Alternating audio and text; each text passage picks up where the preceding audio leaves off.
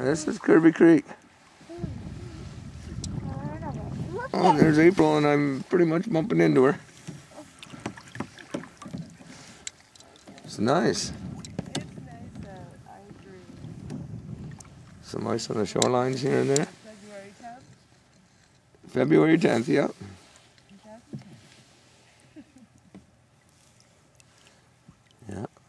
And according to this 458, we got started at uh, 52.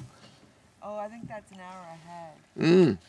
Oh, okay, that's right, eh? Make more sense, 'cause Julian just finished. 358 right now, and we got started at, yeah, about 10-2. So that's good. Well, we try to get Mikey. Oh, Mikey took a tour.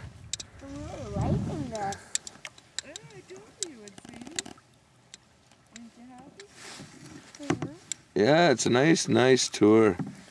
Nice water tour. Not much work involved, that's for sure. Okay, I'll put the camera.